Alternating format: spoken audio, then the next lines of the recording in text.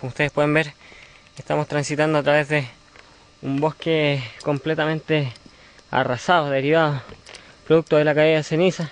Una arriesgada expedición por el cordón Cauye para sacar muestras y medir conocimientos fue el objetivo de un grupo de aficionados a la geología que durante los últimos años han sido encabezados por el joven estudiante Jorge Romero. volcánico Cordón Cauye. Este registro audiovisual muestra la reciente actividad volcánica y la ceniza acumulada que les permitirá realizar mediciones.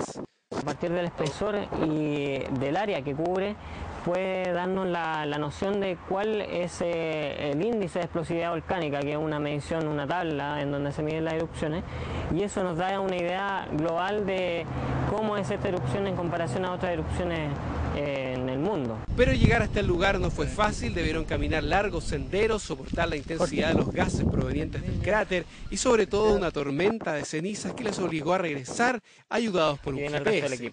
Fue bastante complicado porque nos costó un poco retomar la ruta, eh, pero sin embargo le dio un toque muy especial al, terreno, no nos había pasado eso y de hecho nos da la, la, noción de qué es lo que está sucediendo en torno al cráter. Arriesgada expedición que comenzó el 5 de enero y donde pronto esperan tener conclusiones para aportar con algunos datos a la comunidad científica que estudia el comportamiento de los volcanes en nuestro país.